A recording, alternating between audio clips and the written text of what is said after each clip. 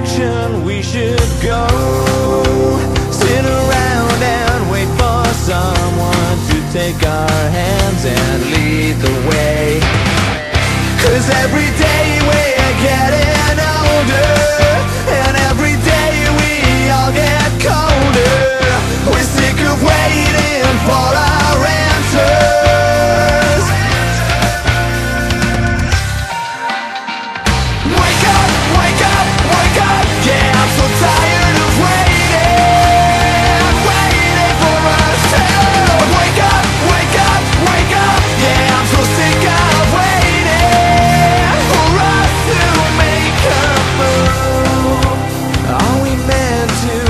anticipate?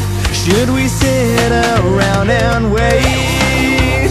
Are we being saved or was that another lie you made to make us hate? Cause every day